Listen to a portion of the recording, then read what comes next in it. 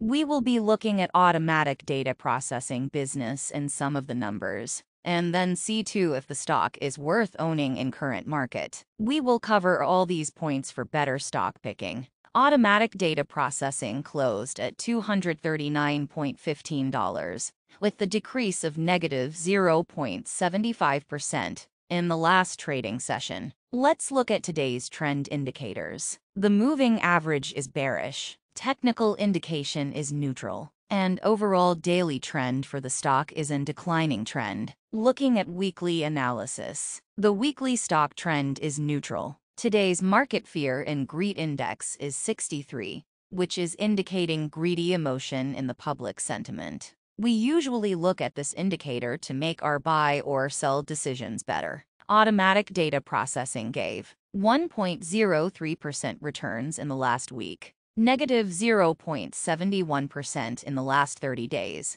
and three months returns are 0.98%. Now let's have a look at simple moving average data. Moving average indicates that what could be the next footprint of the stock price in near future? 5-day average is 237 with a bullish indication. 10-day is 239 with a bearish indication. 20-day average is 239, which is a bearish signal. Let's look at fundamental analysis we will mainly see the last two quarters of the company. In June 22, the revenue was $41.28 million.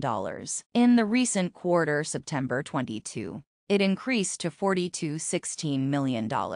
Now let's see the profitability of automatic data processing. In the quarter June 22, the profits were $626 million. And in the recent quarter, September 22, the profits increased to $779 million.